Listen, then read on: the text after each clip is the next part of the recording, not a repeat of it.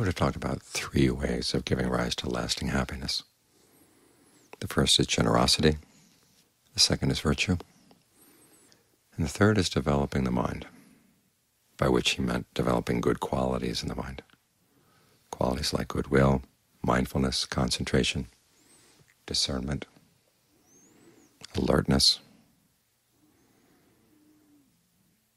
qualities that help you act in skillful ways, because they enable you to see what's actually going on. They can help you see what you're doing and see the results of what you're doing. And if you see that the results are not good, they can help you think of new ways of acting that are going to be better. These are the qualities we develop as we meditate. You may have noticed in the chants we had just now, talking about aging, illness, and death, separation, things we don't like to talk about much, but they're there. They happen to everybody.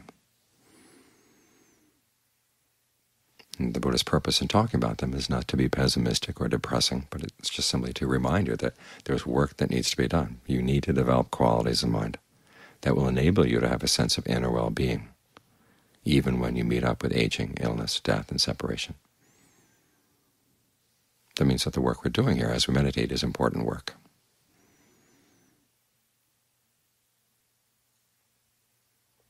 Because we're surrounded by all kinds of opportunities to be miserable or to make ourselves miserable. But we do have the option of developing the qualities of mind that free us from that kind of suffering. As you're focusing on the breath here, there are three qualities that come to the fore right away. First one is mindfulness, which is the ability to keep something in mind. Sometimes you hear it defined as being non-reactive or being fully present to the present moment. That's not how the Buddha defined it. Non-reactivity he termed equanimity. Being fully present he called alertness, which is a quality we are trying to develop, but the mindfulness is the part that keeps reminding you, in this case, to stay with the breath. And as you're staying with the breath, what are you going to do with it? You watch it for a while as it comes in, goes out. You notice when it's long, when it's short, and what it feels like when it's long, when it's short. That's the alertness. You notice whether it feels good or not.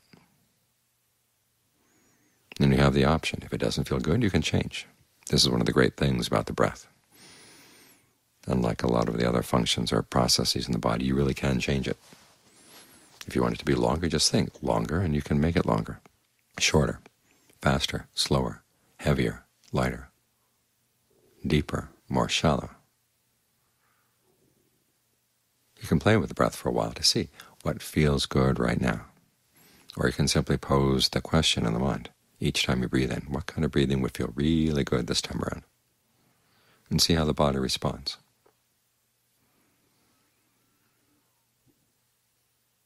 And to get a sense of whether it's really comfortable or not, try to expand your awareness so it fills the whole body. If you have trouble taking the whole body at once, you might go through the body section by section.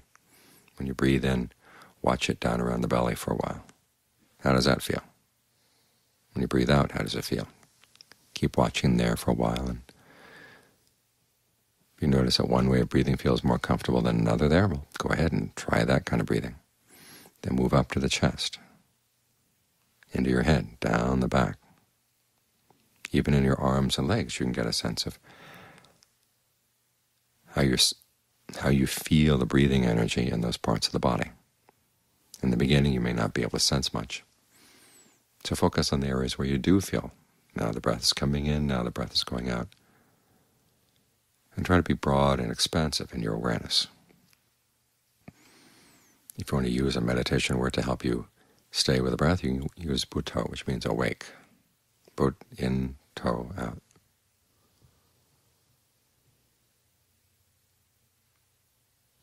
So those are two qualities, mindfulness and alertness.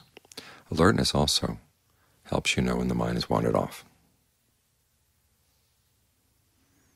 And this is where you need to bring another quality in, which is ardency. You remind yourself you really want to do this skillfully. After all, this is your mind. And the mind is what determines your actions, and your actions have a huge impact on the course of your life. When they talk about karma, all too often we think about past karma from previous lives. But the Buddha's main focus was on your karma in the present moment, because the mind is very active. We're not just sitting here passively receiving impressions. The mind is trying to figure things out, what to do now, where to focus now, how to interpret things. It plays a huge role in shaping how you experience things in the present moment. That's the karma that the Buddha is interested in. And that's what we train. So you want to be ardent in doing this skillfully. For example, when the mind wanders off, as soon as you catch it, just drop the thought. You don't have to tie up the loose ends into a neat bow. Just drop it. Come right back to the breath. When you come back to the breath, don't engage in a lot of recrimination. Don't come down hard on yourself. Just remind yourself, okay, you want to stay here. And then breathe really nicely for a while as a reward for coming back. This way you begin to learn that ardency is not just effort. It contains an element of enjoying the practice. This is something you really do want to enjoy. If there's no sense of joy in what you're doing, it gets dry very quickly. So make it your sport, watching the different ways you breathe and trying to explore how does this breathing process feel in different parts of the body. How much have you ever explored this? How much have you taken advantage of it? In the sense that when you're feeling tired, you can change the way you breathe so you can feel more energized. When you're feeling tense, you can breathe in another way. It's more relaxing. If there's a pain in a certain part of the body, think of the breath energy going down right through the pain and loosening up any tension there may be around it. There are lots of things you can do with the breath energy.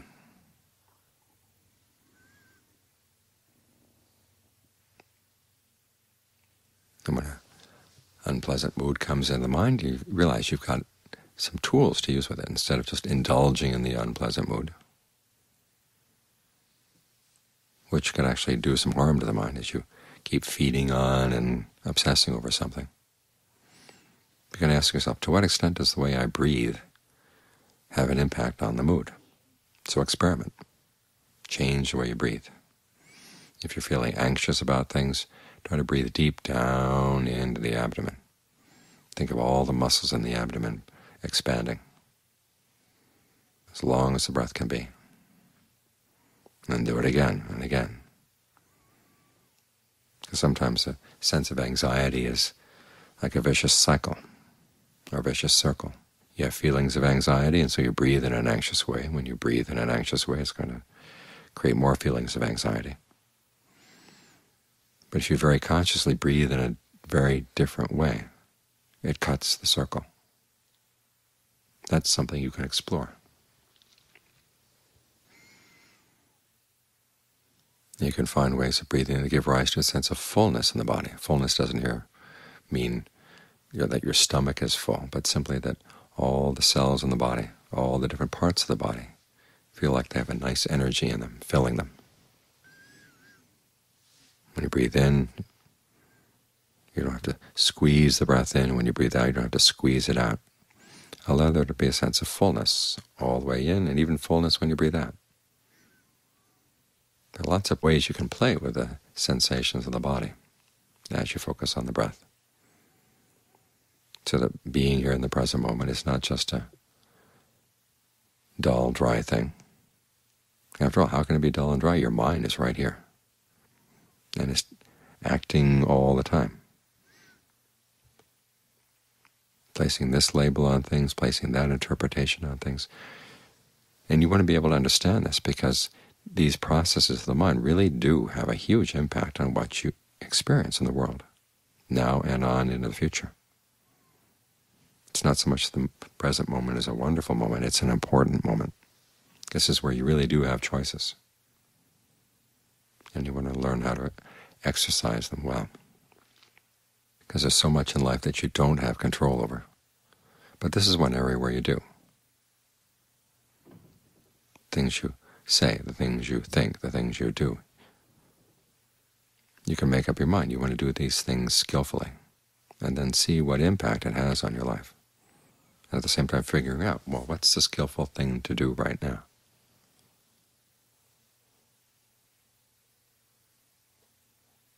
Then as you develop the mindfulness and alertness and ardency that come from working with the breath in this way, you find that you can apply them in all areas of your life, so that you're shaping your life in a much better way.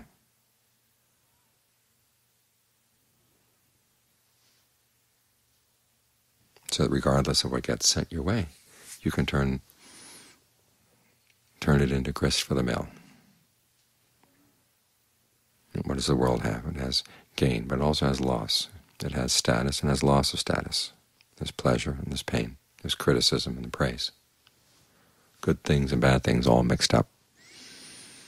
And if the mind is well trained, it can take even the bad things and benefit from them. If you're tied to just having things good in your life, the mind's going to be really weak. But if you learn to develop the discernment that even bad things coming away, you can turn to a good purpose, that's what's really meant by strength of mind. It means you can live anywhere, in any situation, and not suffer. And when you're not suffering, you're not adding to other people's suffering. This is what's meant by developing the mind. And it is a source for genuine happiness, because once you train the mind, then you find that it's not going to become your enemy. All too often people have pleasant situations in their lives, but they can make themselves miserable.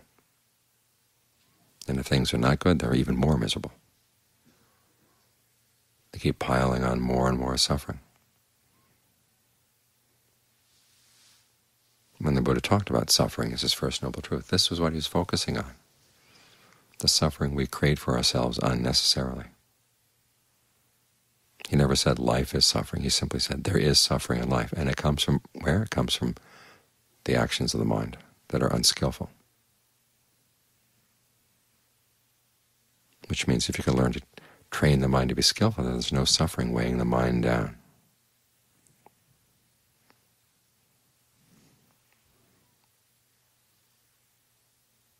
and when you're not preoccupied with suffering anymore.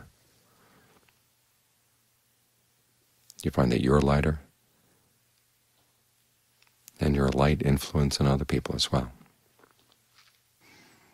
The happiness the Buddha was talking about that he said comes from generosity, virtue, and developing good qualities of the mind. It's a special kind of happiness in that it doesn't create boundaries. The happiness that comes from material gain, status, praise, sensual pleasures. That creates boundaries and divisions, because if you gain it, somebody else loses it. If they gain it, you lose it. And it's never enough, as the Buddha said one time. If it rained gold coins, we wouldn't have enough for everybody's desires. Speaking of sensual desires. So that kind of happiness is a recipe for conflict but the happiness that comes from generosity. You gain, the people around you gain. The same with virtue. You gain, the people around you gain. And the same with meditation. Everybody gains. It's a kind of happiness that erases boundaries. That's why it's so special and why the Buddha spent so much time teaching it.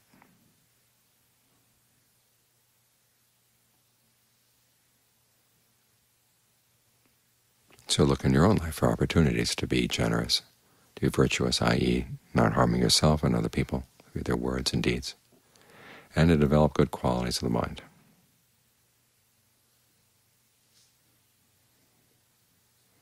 Because we've all had pleasures in our life.